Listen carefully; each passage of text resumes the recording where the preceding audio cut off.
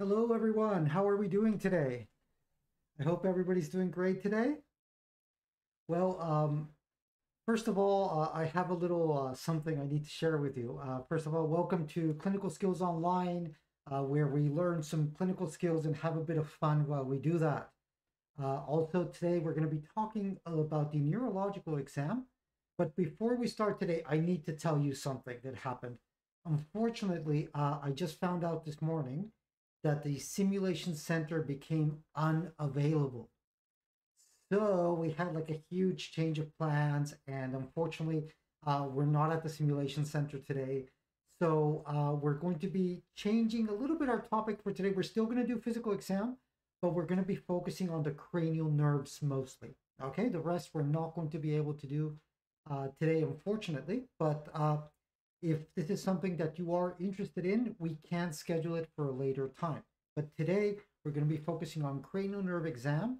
And this is extremely useful because uh, many times you get patients that come in with something like a stroke or TIA, right? Uh, transient ischemic attack. And then kind of you, you really want to make sure to see if there's any neurological deficit. So today we're going to be doing cranial nerves all the way from number one to number 12. I'm sure you remember the names of each one of them, right? Right? Right? Oh, no, maybe not. No, don't worry. I also forget all the time. But um, it's really important to try to, to uh, kind of more or less remember. We're going to be reviewing each of the cranial nerves.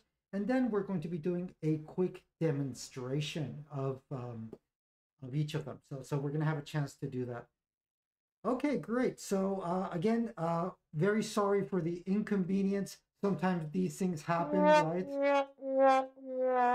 And uh, anyway, we're gonna get a chance to, to do our, our class today, and it's still gonna be awesome. So so no worries. Uh, we're gonna have a great time as we go through our class today. Okay, so before we start today, just quick question: How is everybody feeling today? How are you doing? Good, bad, so so. Joanna says Hi, hi, Joanna. Hi, Apple. James. Praise is also online with us today. Hello, guys. Welcome to the stream. Okay, so very quickly on the chat, if you can tell us how are you doing today? We have a good from Michael. I am wearing a mask. Do you know why? Because today we have some help. We have a SP who's going to be helping us today. I'm going to introduce her in a few minutes, and that's why I have this mask. I know, I know. Hi, Erin. How's everybody doing? Jane. Okay, good to see you all. And let's get started with this today. So uh, today we're going to be talking about the cranial nerve exams. And of course, as you guys remember, cranial nerve number one is the olfactory nerve, right? And the function of this is mostly related to our sense of smell, right? So, um, and the test we use for this is smell is something called smell discrimination. Now, I do ask you to keep in mind that for a very long time, we didn't use this very often, right? We didn't do it so much. Uh, but now with COVID, um, anosmia is a, a serious symptom that sometimes appears in patients who have COVID. So actually people have started doing this much more often than before. So it's a really, really interesting find. So we're going to talk about how we do the exam of the olfactory nerve. And hopefully our PE exam, our, our PE camera will be working today. Uh, I, I hope. Uh, let's do a quick sound check. Okay, PE cam. Um, can you guys hear me okay? It should be working. Give me a little yes if, if, if you can hear us.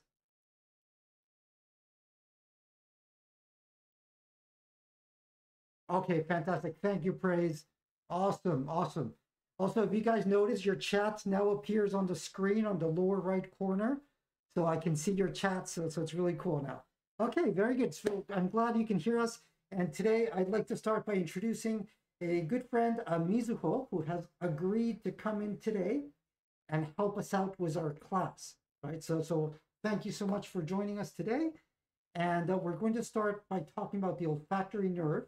But before we do anything, it's time for you guys know what? Hand cleaning, right? So very important, always sanitize your hands before you work with any patient, right? And that way you know that everybody is safe and everything is good. Um, it's a good idea to always like really rub your hands well because sometimes people just go like psh, psh, and then suddenly they're they're done, right? So, so it's a good idea to really rub your hands properly when you're doing this and dry your hands a little bit because especially if you're going to be near the patient's eyes, sometimes the vapor from the alcohol uh, can, can irritate the eyes. So always make sure you dry your hands. You can shake them a little bit before, right? And that way you make sure you have nice, uh, clean hands before you start working with your patient. Okay, very good. So let's uh, let's go to Mizuho and uh, Mizuho. Uh, so for our first exam today, what we're going to do is we're I'm going to be testing your sense of smell. Okay, so I'm going to put a little bit of alcohol here on this cotton ball. And what I would like you to do is, would it be possible for you to lower your mask, please? Okay. And I want you to please cover uh, one side of your of your nose like this. There we go. That's it. And close your eyes. Okay. Can you smell this? What can you smell? Um, hand sanitizer. Hand sanitizer. Very good. Okay, let's try the other side. Same thing. So unblock your nose. Try the other one. Okay. What can you smell? The same? Okay, is the smell, the sense of smell the same on both sides? Mm-hmm. Okay, fantastic. Thank you very much. Okay, very good, everybody. So this was our olfactory nerve exam. So I used hand sanitizer because that's what we usually have available. But in some cases, um, especially if you're working in a more specialized office or something, you will have access to other things. Very commonly, we use coffee or cinnamon to do this test because it's much more sensitive. But if you don't have that available, we can do for hand sanitizer. Most important thing is the patient needs to cover one of the nostrils while you do the test and then cover another of the nostrils while you do the other side. And eyes should be closed as in any neurological exam.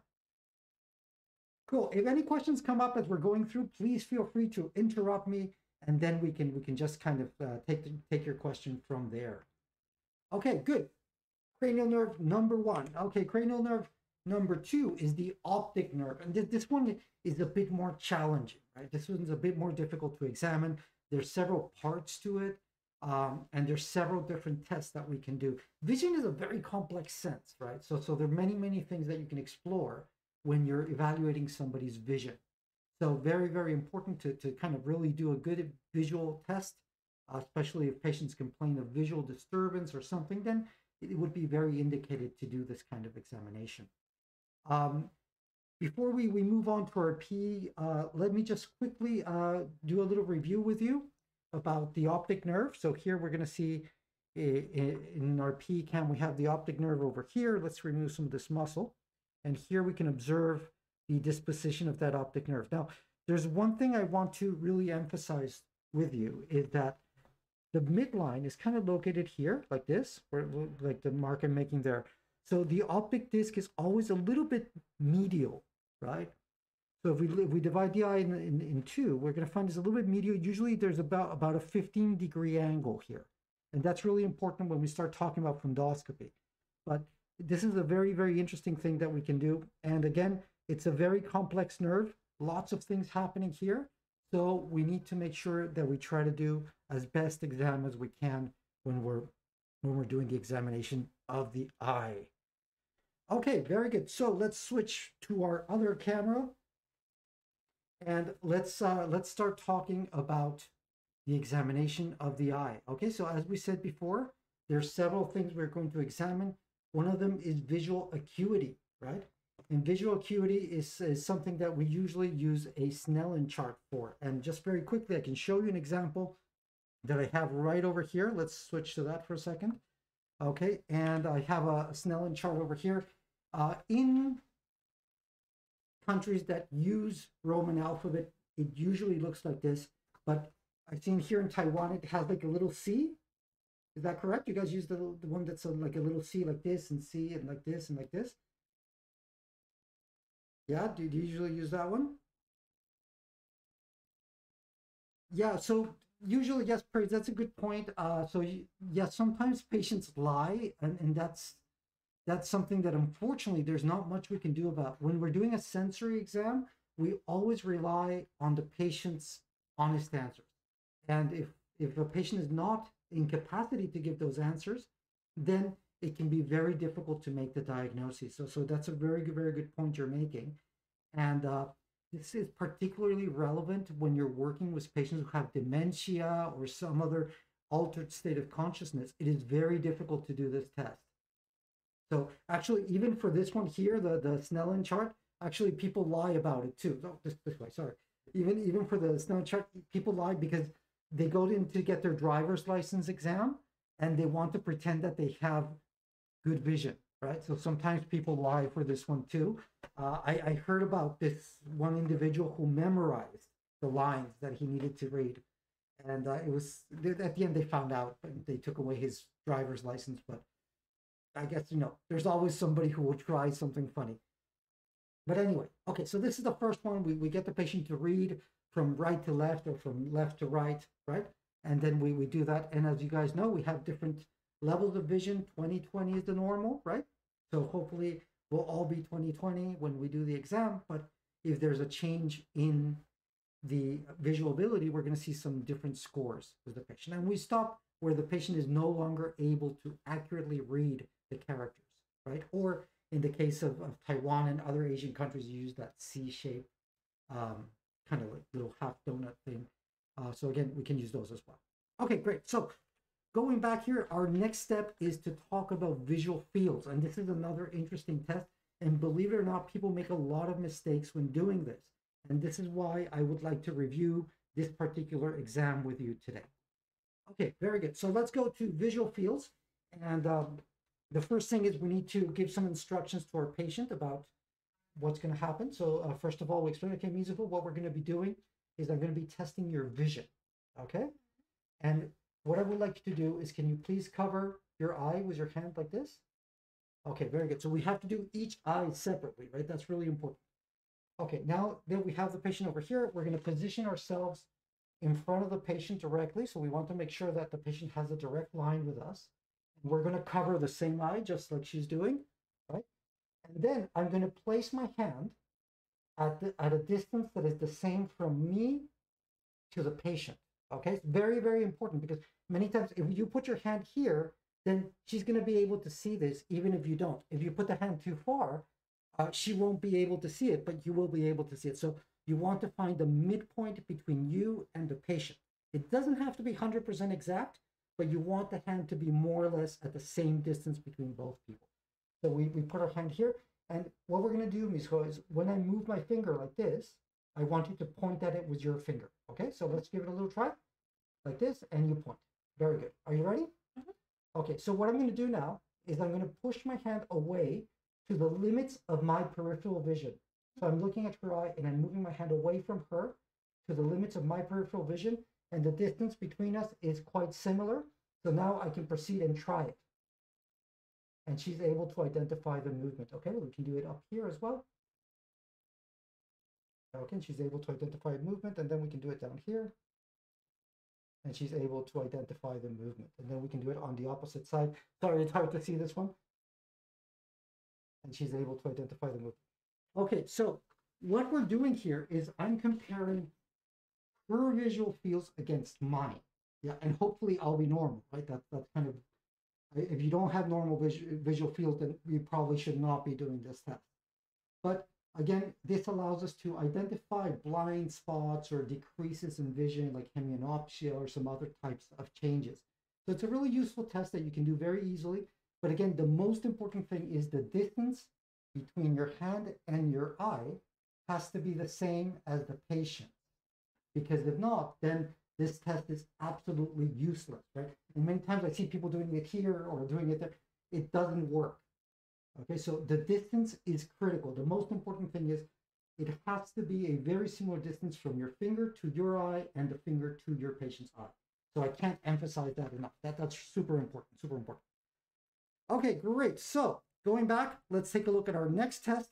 We're going to be doing pupillary light reflex, right? And usually what we do is this is we, we shine uh, a little light on, on the patient's um, eyes and we see the contraction of the pupil. Okay, so very simple.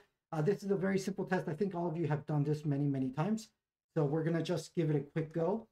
Okay, so I'm going to use a light source. In this case, I don't have a flashlight with me. So I'm going to use the ophthalmoscope, which I have right here. But it, you can use your cell phone. You can use any, any light source is okay, right? we explain to the patient what we're going to do. So, uh, Mizuho, what, what I'm going to do now is I'm going to shine a bright light into your eyes, okay?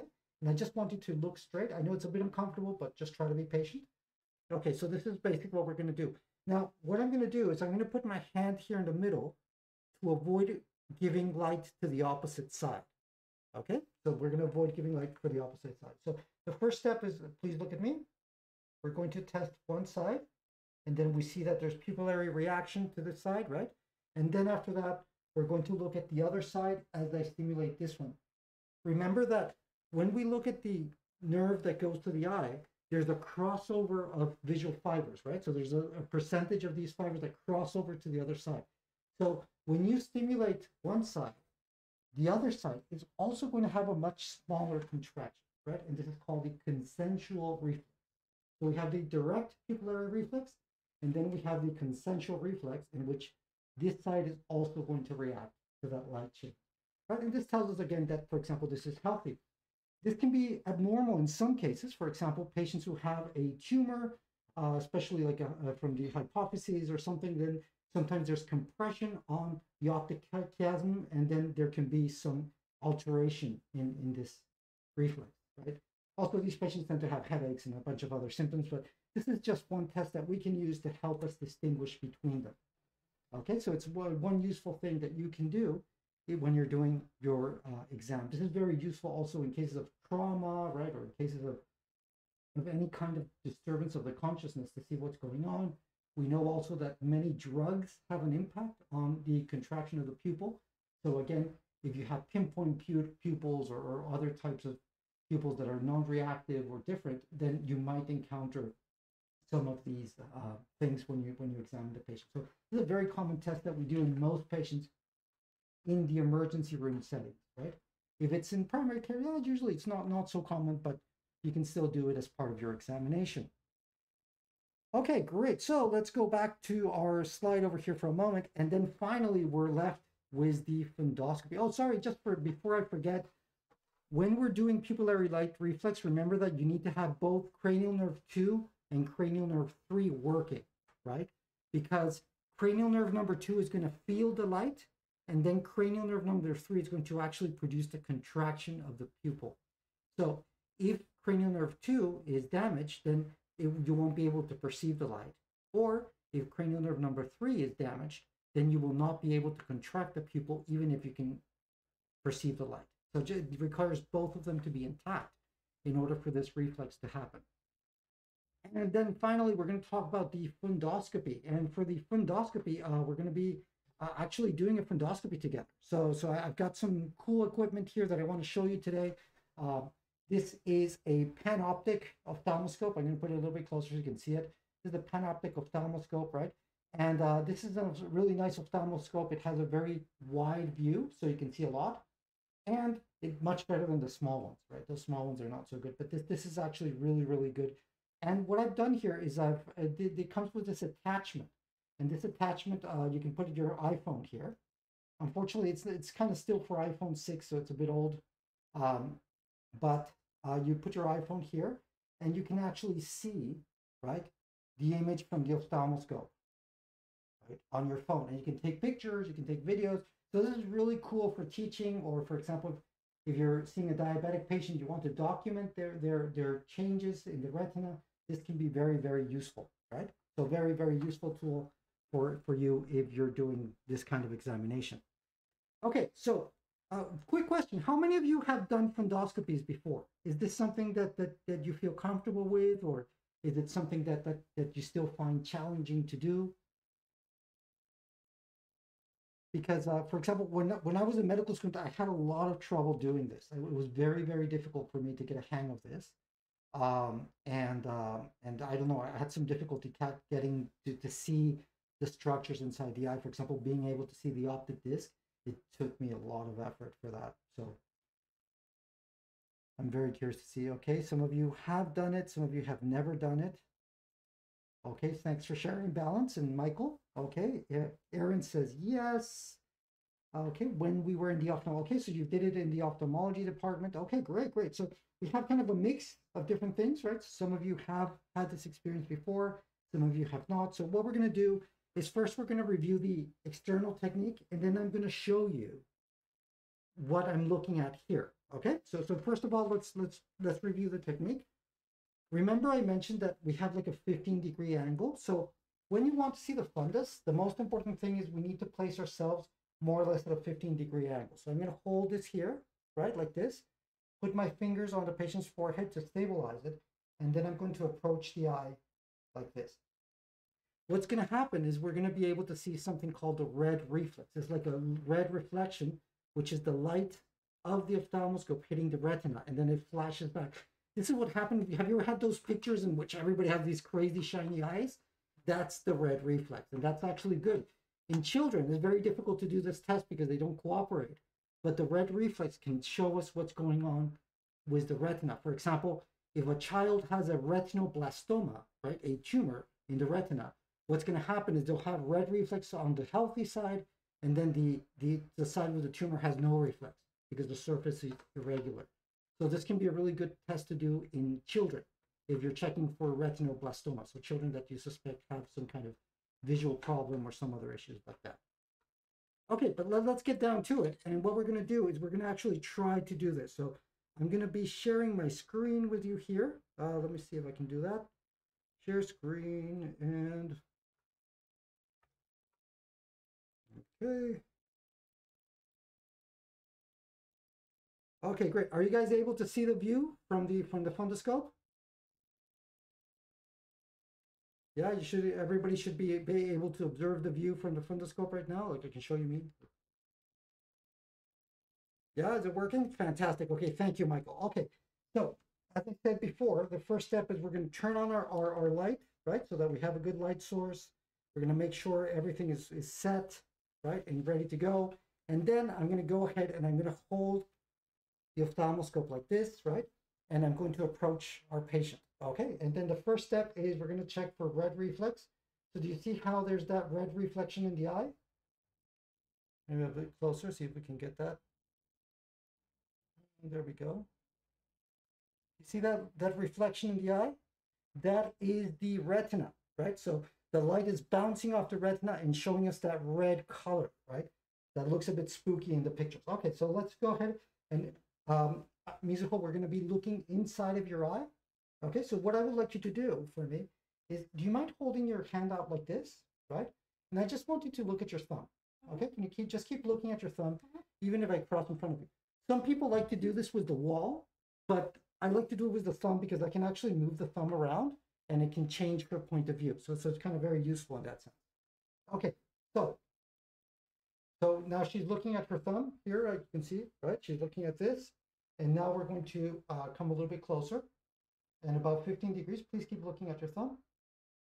Okay, and then what we're going to do is we're going to approach the patient and you're going to see how suddenly the fundus becomes more obvious here. So we can see, you see the optic disc right there? Right, we can observe the optic disc, the retinal blood vessels, right? You can observe here, let's pull out a little bit and let's go back inside. See if we can get a better view. There we go. So there we have a nice view of the optic disc, right?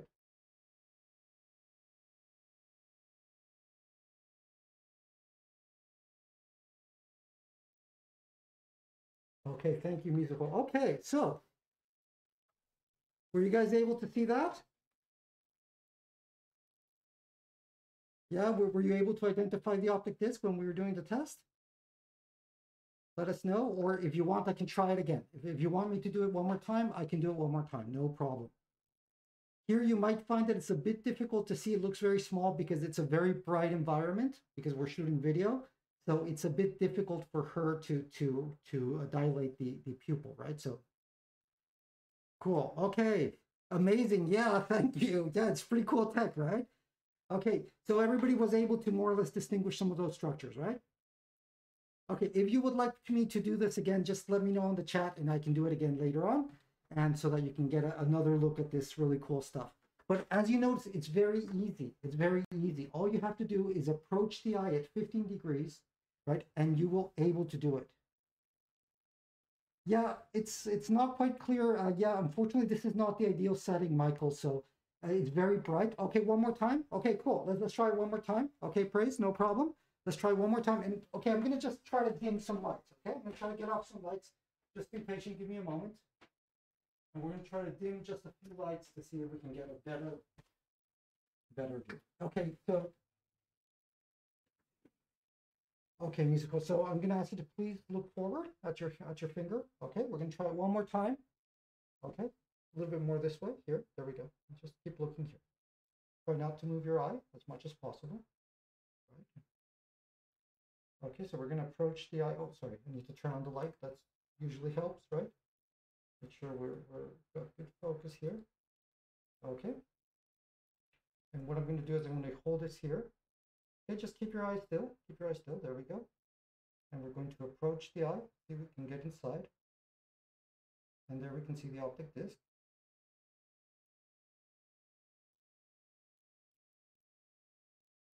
It's nice and round, and it's got the retinal blood vessels inside.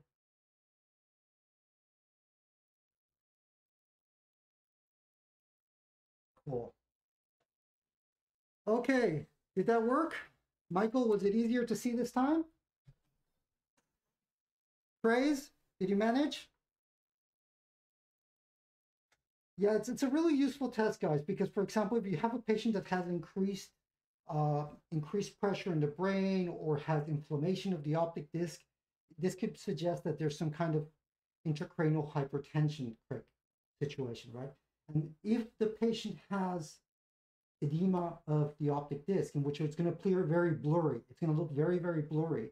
And if you find this, we should never, never do a lumbar puncture, right? Because we can have a herniation of the brain, and this can produce terrible, terrible problems. Patients can die very easily from that. So it's an important test to know how to do. It's also very important in other types of patients, for example, patients with diabetes mellitus or patients with hypertension. But today we're focusing on the central nervous system. So I'm not going to talk too much about the retinal blood vessels or exudates or other types. What we're doing right now is we're looking only at the optic disc because that is our objective for today. Cool. Okay, everybody. So let's go back and let's continue. Oh, why am I looking at an eye? Okay, there we go. That's that's me. Oh, sorry. I just need to get my lights back on. Sorry, just a moment.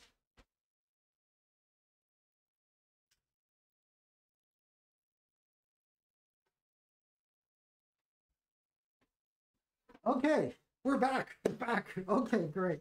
Okay, so that was the fundoscopy. 15 degrees. Oh, that's a great question. Okay, so 15 degrees. So if you approach the eye straight like this, let, oh, sorry, I'm in the wrong side here. So if you approach the eye straight in a straight line, uh, let me see. Oh God, it's so difficult to do here. Okay, so let's imagine we, we want, we make a line and this is directly looking at the eye, right? And then what we're gonna do is we're gonna go 15 degrees to the side like this. And then that way you can see where the optic disc is located. The optic disc is not straight. It's a little bit medial, right? So you need to twist a little bit your, your ophthalmoscope, right? If you go straight, it's not going to work. You want to twist it just about 15 degrees so that it's going to enter a little bit from the side of the eye. So not straight ahead, but from 15 degrees. Let me know if that's understandable. If it didn't answer your question, I can try to show you in a different way. Okay, great. So uh, again, this is a really uh, easy test to do. And again, we just want wanted a little bit offset to the right, follow the red reflex all the way in, and suddenly the disc will become visible, right? So that's basically the procedure. Fantastic. I'm glad you got it. That's great. That's great.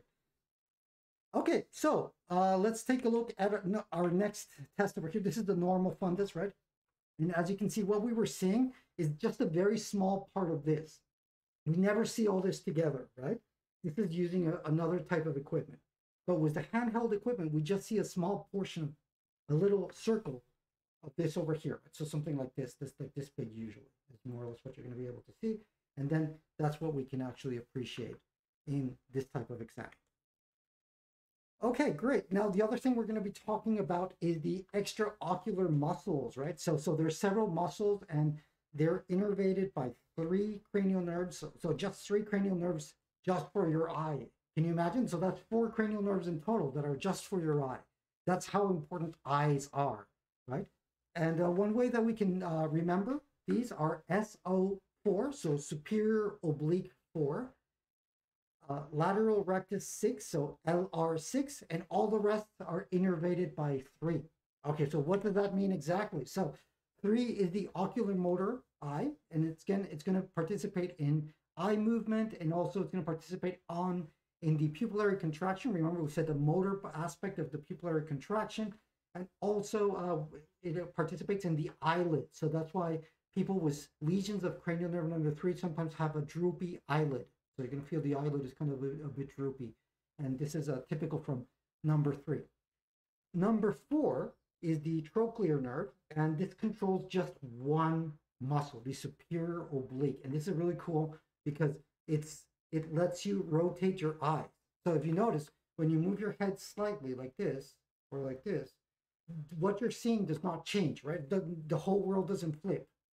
You kind of keep seeing the same thing, even if you rotate your head a little bit, right? If you rotate a lot, then suddenly the image is going to change.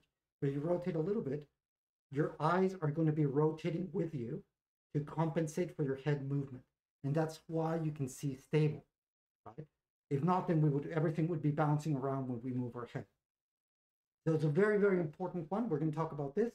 We have cranial nerve number six, which is the abducens nerve, and this one is in charge of the lateral rectus. So the lateral rectus is the external one over here, and this is in charge of moving your eye in this direction, right? So it pulls back and moves your eye outward. That's all it does. Okay, so how do we test this? Well, we have uh, two tests. One is visual tracking, and the other one is pupillary response. Okay, so let's take a look at how we're going to do this. Let's switch over to our PE cam and we're going to continue working with Mizuho here.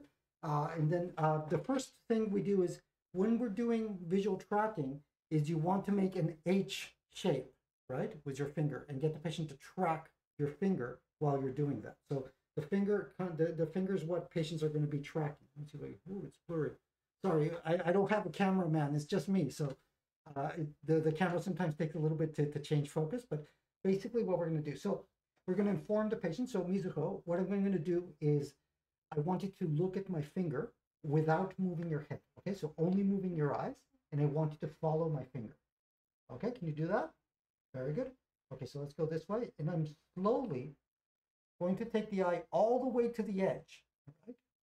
So I can push the eye all the way to the limit, and then I'm going to move it up Okay, and then I'm going to take it all the way down, right? And I'm going to be, at this time, I'm observing her eyes to see the movement of her eye to see if she's actually tracking properly, all the way up, all the way down.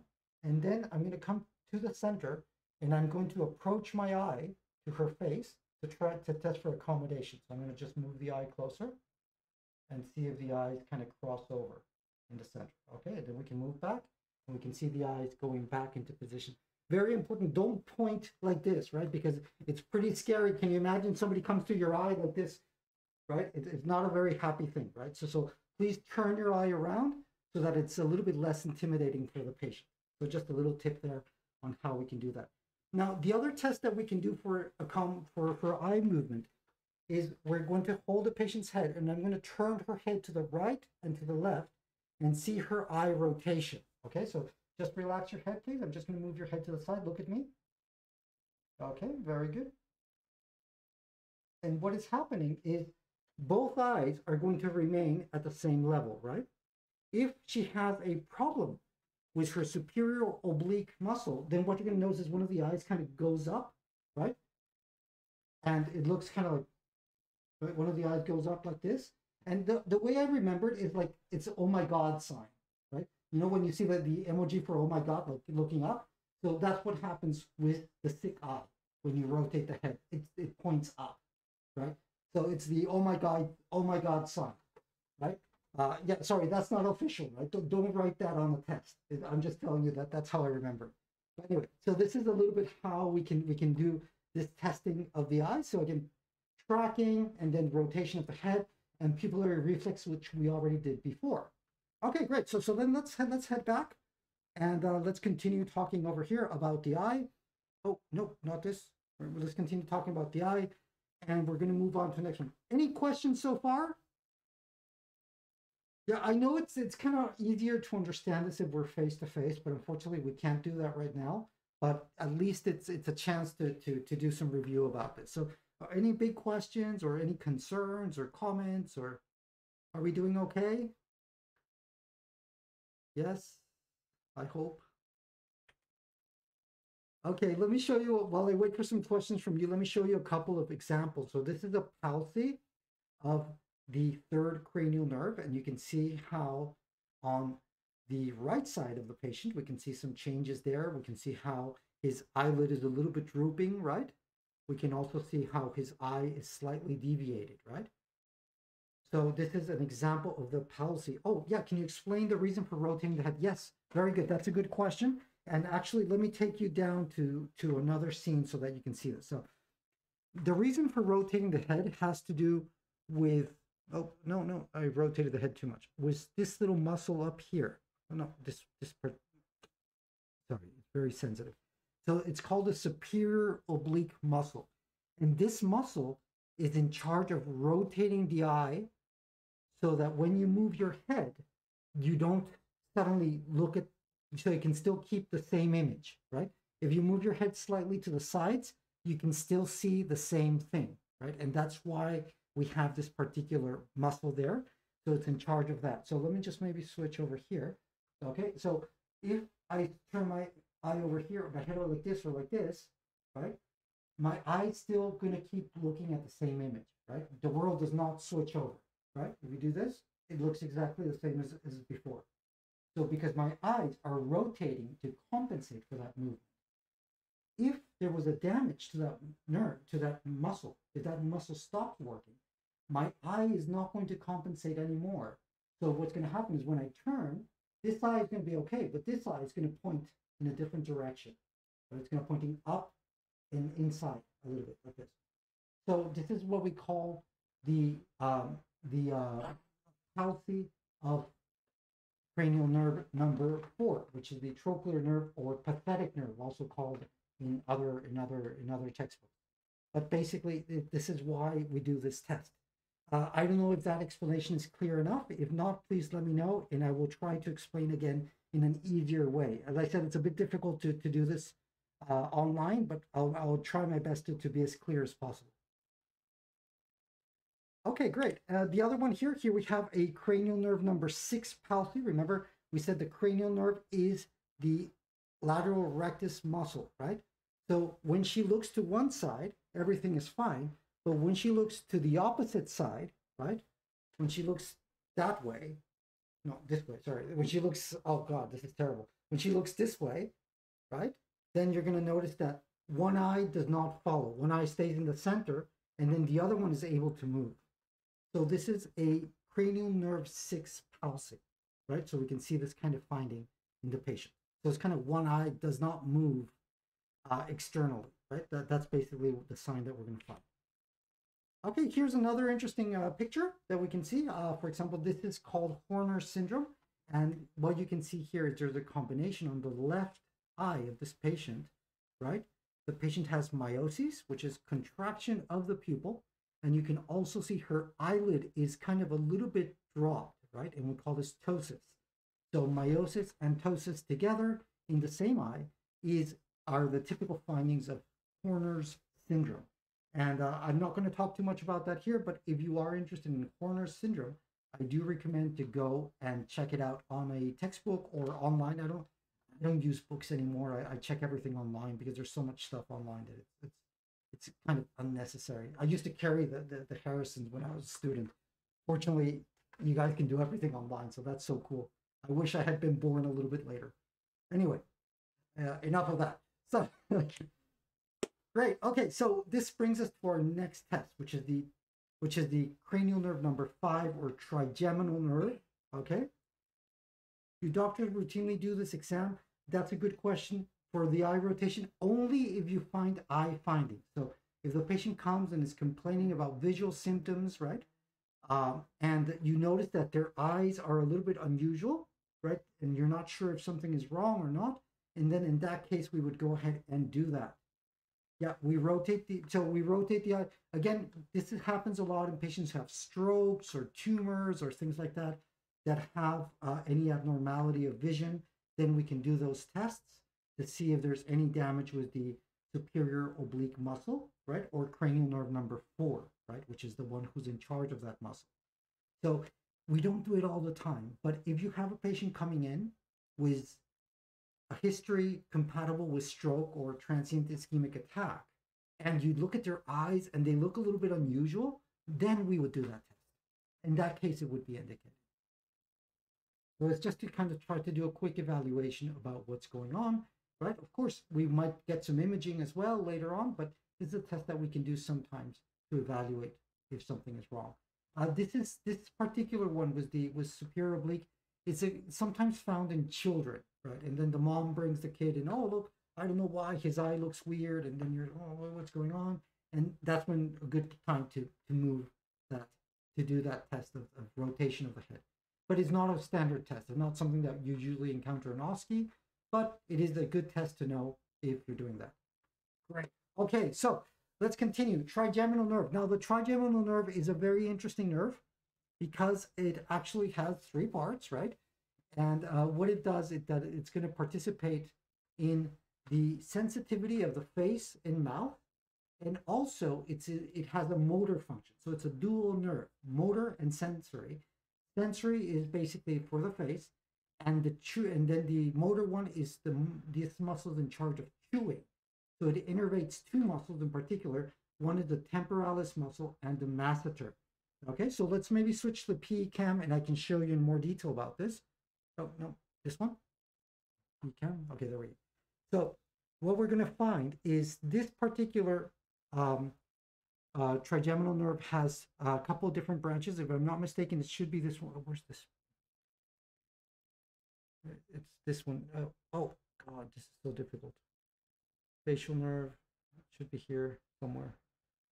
Okay, here. Okay, anyway, so basically it innervates the temporalis muscle that you see here is highlighted and the masseter. Right? So, and these are the muscles that let you chew, right? Actually, if you look at people who chew gum a lot, they have really big temporal muscles. Uh, you can actually feel those. So um, I, I know chewing gum is not so common anymore, but you know, in the 80s, everybody was chewing gum like crazy and they had some huge temporal muscles. It was quite interesting. So these two muscles are innervated by the trigeminal nerve, which is the facial, which which is in charge of the the these two muscles. And then for the sensory part, and let me just maybe add, it's going to innervate the face, right? So it's going to innervate. Uh, let's put some skin on this lady. So it's going to be innervating this area over here, right? Which is V1, right? We have V2, with the second branch is going to be innervating this area here and we have a mandibular branch, which is going to be innervating this part over here, right? Uh, this is an important nerve because sometimes when people get dental work done, this nerve can become irritated and these patients suddenly have symptoms. So this is an important nerve to remember because it's it's it's a good thing to it's good to examine when you have patients with symptoms. Okay, so let's go back to our P and uh, we're going to continue here. And Mizuho, would it be possible for you to take off your mask again, please? Okay, so the first thing I want to evaluate is the motor portion. Okay, so I'm, I'm going to put my hands here, and can you please open and close your mouth for me? And I can feel how that temporalis muscle is contracting there. Okay, great. Now let's keep doing that. Let's do that again. Now I'm feeling the masseter, right? Open and close. Okay, and I'm feeling the contraction and the tone. It's very important to feel the tone of the muscle, right? So you can press here, you can press here.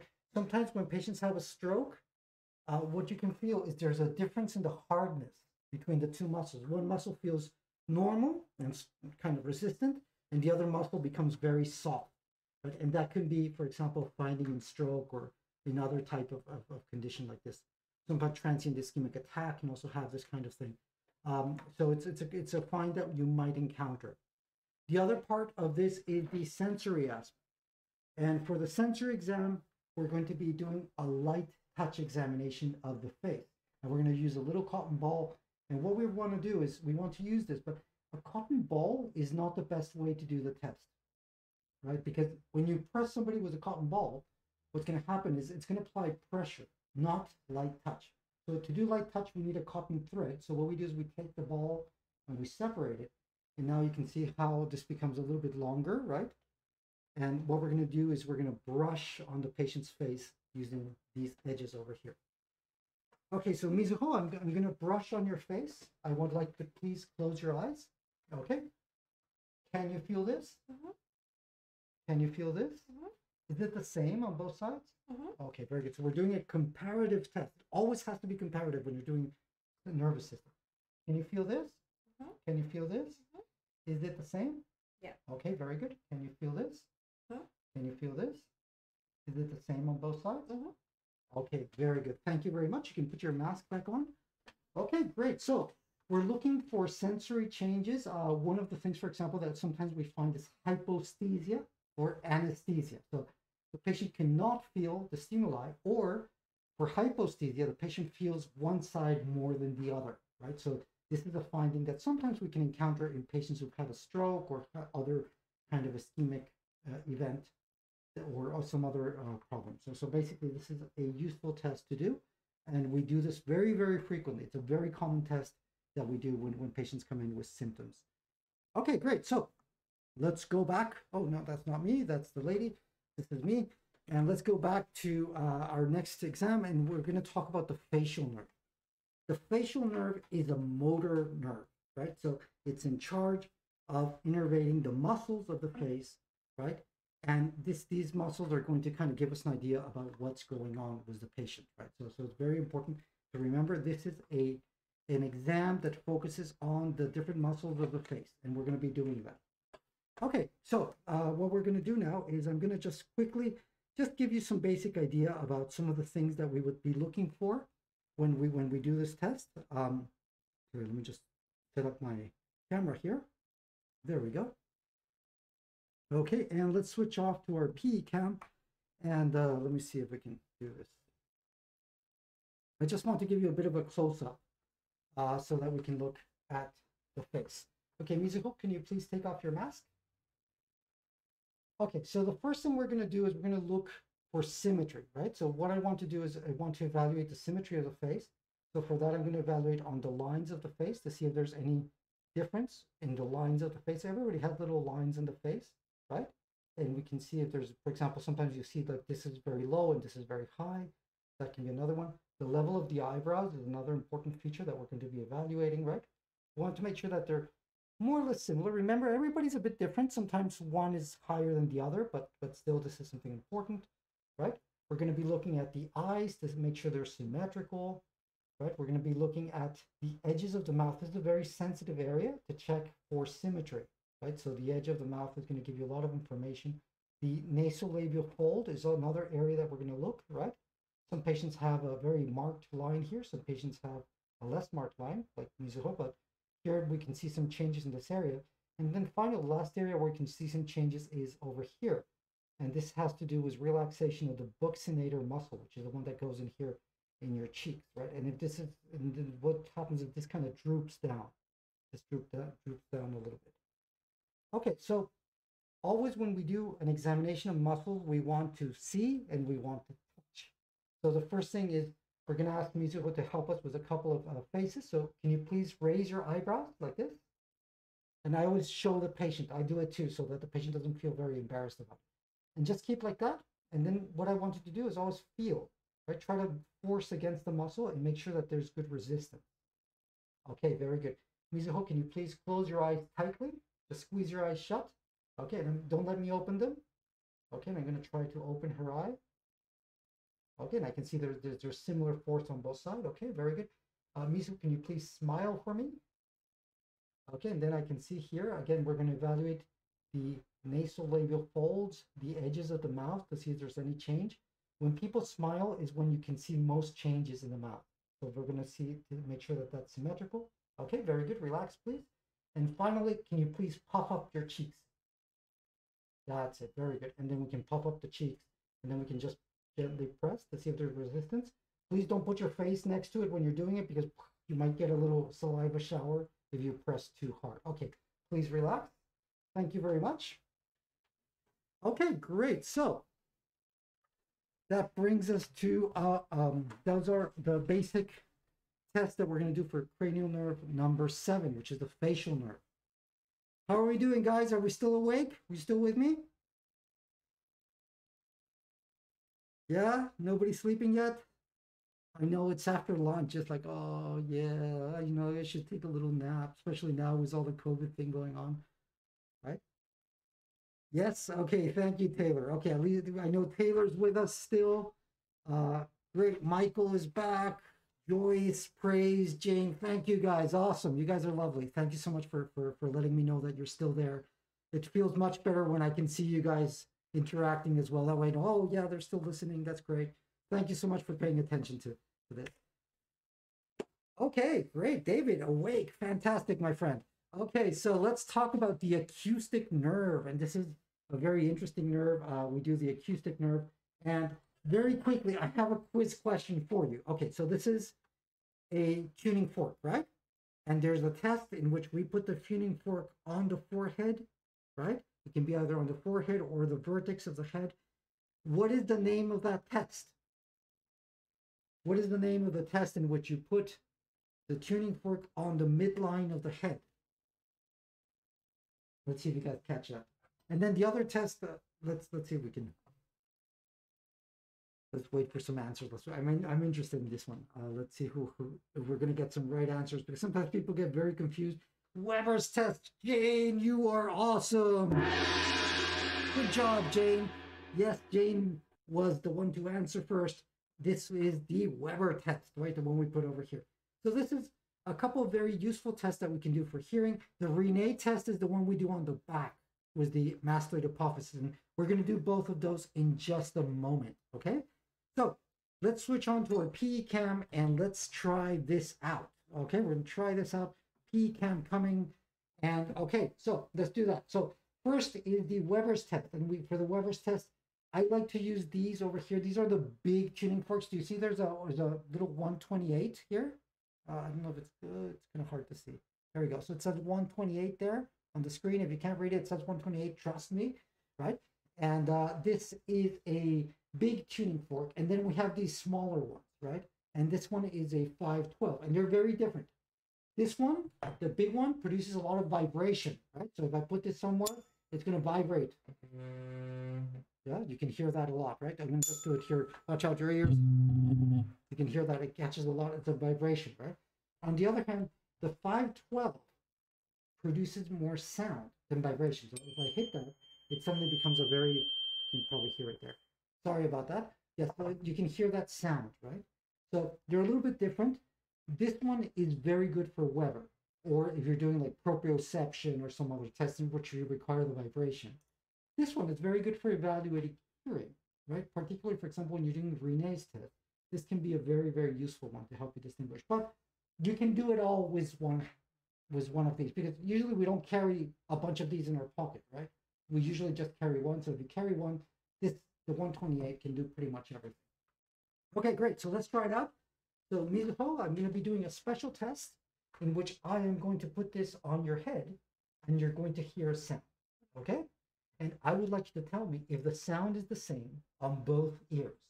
Are you ready? Okay, let's try it. This might feel a bit weird. Can you hear the sound? Yes. Is it the same on both sides? Yes. Great. Okay, very good. That is Weber's test, okay? And again, what we're going to do is when we put this over here, uh, again, we're going, the patient is going to compare right and left.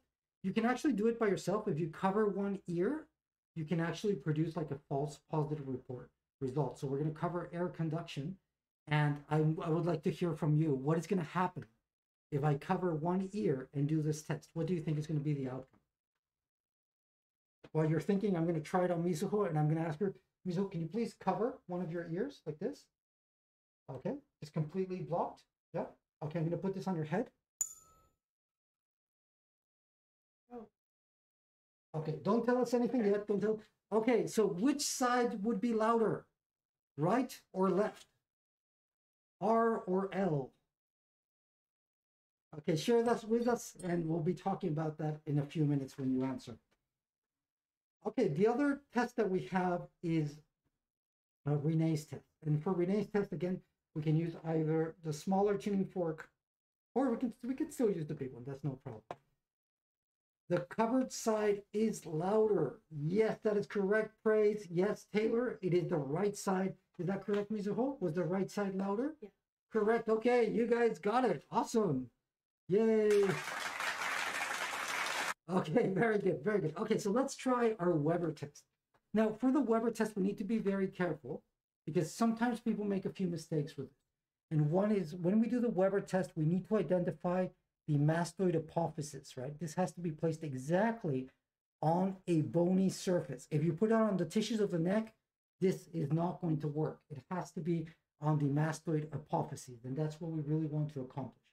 Okay, just let me maybe just to make it very, very clear, I just want to show you here on the skeleton. Let me just do that. Uh, switch over to Mr. Skeleton. Okay, so what we're looking for is, let's take away some of these muscles. No, no arteries.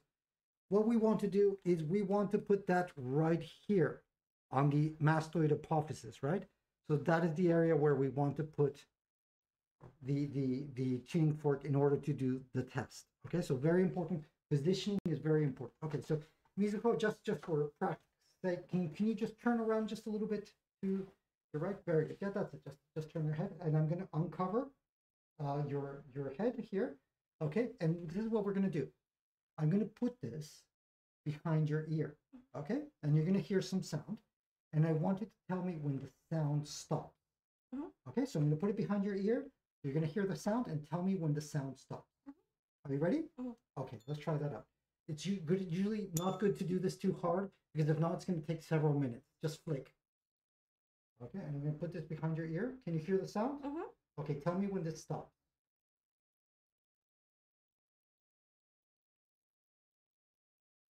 Stop. Okay. Can you hear it now? Yes. Okay, very good, very good. So what happened? So first we tried bone conduction, right? Which was by putting this on the mastoid apophysis. And bone, she could hear the sounds through bone conduction, but eventually the bone conduction stopped. When the bone conduction stopped, I approached the uh, tuning fork to her ear, and she could still have air conduction.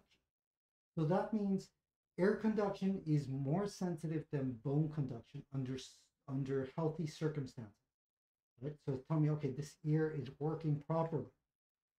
So it's another important test that we can do. And of course, we do it on both sides, right? So this allows an evaluation of both sides. So again, first we put it here, bone conduction stops, and then you approach it to the ear, and air conduction should continue. That is normal, right? But if you approach it to the ear and the patient can't hear, then we know that the bone conduction is working, right? The nervous, the wires are working, but something is stopping the flow of sound through the ear. So here we can think about many things. The most common thing, most cases, earwax, right? Very, very common. People have a bunch of earwax and they can't hear because the wax creates a barrier that doesn't let the sound travel. So that's one very, very common cause. But there's some other causes. For example, uh, problems with the tympanic membrane or otosclerosis, or there's several other diseases that can produce that, or a foreign object if it's a child, right? So, but most cases it's wax. And what we would do is right after we can do an otoscopy to look inside to make sure that um, everything is okay. And I don't know, uh, I know uh, Professor Chan, I know you're you're watching this. Uh, do you find a lot of wax when you're doing when, when you have patients with hearing loss? We'd love to hear from you. Okay, great. So while we hear from when we hear back from from Professor Chan, uh, let's talk a little bit more about the the next nerve over here because we're coming up on our time. Oh wow, we're, we're kind of behind schedule. This is fast. We'll do this one very quickly. Okay, cranial nerve number nine or glossopharyngeal nerve. Glosso is tongue, pharyngeal is pharynx, right? And with this one, basically what we're going to be doing is we're going to inspect the patient's uvula and we're going to induce a gag reflex, right? And usually we do that using a tongue depressor. We stimulate the posterior part of the mouth, right? Or the pharynx, and, and then the patient's going to gag, right? We're not going to be doing that right now. It's okay, Mizuho, don't worry. We're not going to be doing that to you. But uh, this is something that we can frequently do in patients. The other one is the cranial nerve number 10 or vagus nerve. And this nerve, like is uh, like a Swiss Army knife. This guy does everything. But an easy way to evaluate it is through the gag reflex. So it participates together with cranial nerve 9 in the gag reflex. And also it participates in the swallowing effect. So with these cases, what we do is usually we test the patient's ability to swallow, right? So we, we put our fingers here, we tell the patient, mm-hmm. okay, please swallow. And we feel how the larynx is going to move up and down during the swallowing. And this tells us cranial nerve number 10 is doing A-OK. Okay, and then finally, we're going to move on to our next nerve over here. Oh, sorry, this is just an example of a cranial nerve number 9 lesion, right? You can see the uvula is deviated to one side, right? And uh, question for everybody, which side is affected in this patient, the right side or the left side? So take a look at this patient and tell me which side do you think is affected, the right or the left? Okay, while you think about that one, um, let's continue because we're a bit of, a little bit on time. We're going to continue with, with the next nerve while you while we gather your answers.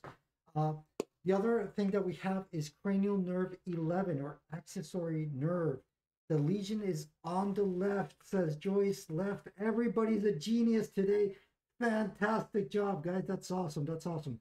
Big cheer for all of you.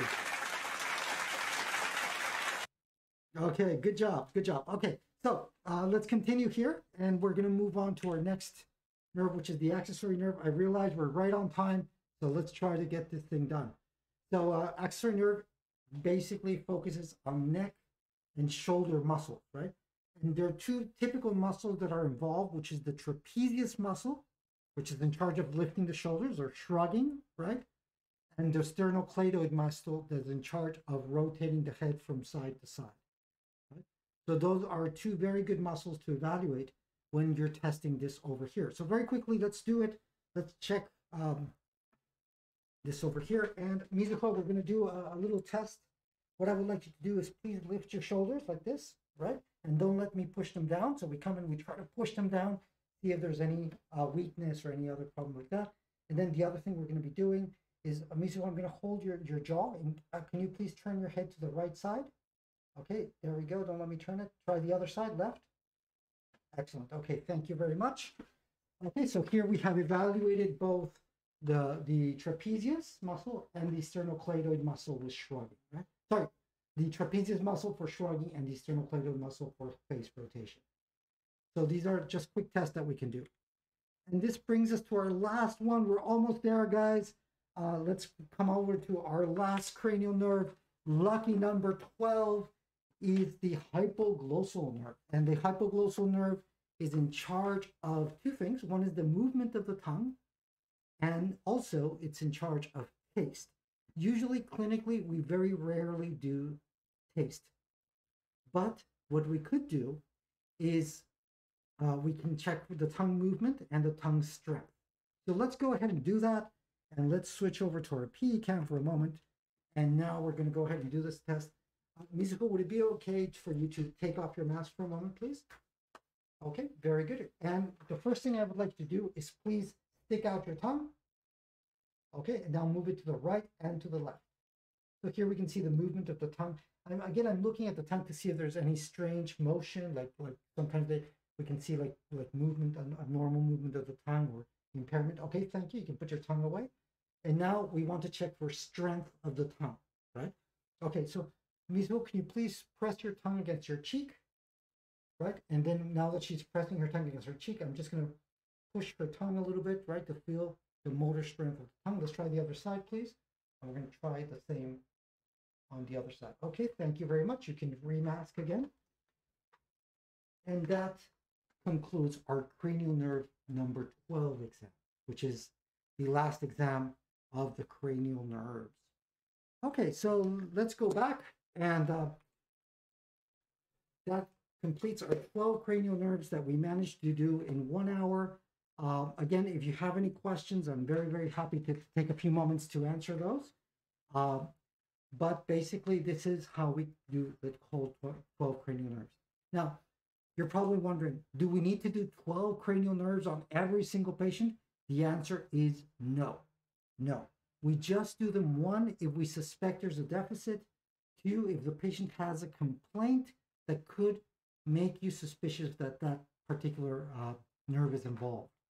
Okay, so this is not something we do on all our patients. No, because it takes a long time. We did, a, you know, we were doing a little bit of talking, but it took us like good one hour to do it. If you're doing it in a real patient, it might take like 10 minutes, but 10 minutes is really a lot of time to do for a physical. Right? So usually we will not do everything, but we will select the tests based on the patient's history and based on our clinical suspicion. So then the test will help us confirm what we're suspecting, right? Uh, so this is a very, very good way to, to kind of go ahead and, and try to understand better what the characteristics of the neurological deficit are, right? And this can be very, very useful. Okay, everybody, so this brings us to the end of our session for today. I do apologize for the little mishap that we had today. Um, and uh, again, if you are interested on the rest of the, of the neurological exam, we can try to cover some of that in the future. But for today, unfortunately, uh, we're just focusing to the cranial nerves, but at least we had a chance to, to look at these in detail and to talk about them and talk about the proper examination of these nerves. Um, with physical exam, honestly, most of it is practice, right? So if you practice very hard, you will develop the skills and it will become a lot easier. It's just like riding a bicycle, right? At the beginning, it's a little bit difficult and you're not too sure what you're doing. But then after you do it several times, you know, you kind of get used to it. And suddenly you start getting quite good at it, right? The next thing you know, you're like letting go of the wheel, the handle and spinning your bike in the air and all that cool stuff that people put on YouTube. So anyway, um, that's our, our neurological exam. I do encourage you to practice as much as possible, uh, particularly if you have a patient with a finding. It's a great opportunity for you to learn how to study that, how, how to see those clinical signs and how to detect those changes. So I want to thank you again for your time today. It's always a lovely opportunity to be able to be with you. And also, I would like to thank uh, Mizuho for helping us today. So thank you, Mizuho, very much for your help. You were awesome, and we really appreciate your help. And uh, again, uh, it's all about the practice, guys. So so let's get to practice. Let's try to do that. I heard some really good news that that uh, apparently uh, we're we're you guys are going to be able to go back to the hospital pretty soon. So I'm looking forward to seeing you again. And and again, uh, thank you so much for all your support. If you have not subscribed to the channel, please help us out and subscribe. When we reach a certain number of subscriptions, we can we can get our a private domain, kind of a private name for the for the website, and it makes it much easier for people to share. So if you have not subscribed yet, please make sure to hit that subscribe button. And if you liked today's video and the topic, please make sure to hit a like on the video because the likes for each video are kind of our guide to see what you guys feel comfortable with or what you don't feel comfortable with. So if you enjoyed the video today and you like this kind of topic, make sure to like it so that I know that, oh yeah, they like this kind of material, right? And that way we can try to create more sessions like today. Anyway, thank you so much, guys. Please stay safe, stay positive. These are tough times, but you know what? Things are going to get better and we're going to go back to normal eventually. So please just hang in there, right? Be positive, and hopefully I'll be seeing you in person very soon. And don't forget, next Monday we don't have a session because it's a national holiday and you guys are going to be relaxing and chilling. But next Friday, we're going to be talking everything about abdominal pain. So make sure to join us next Friday, same time, same place, and I'll see you very soon.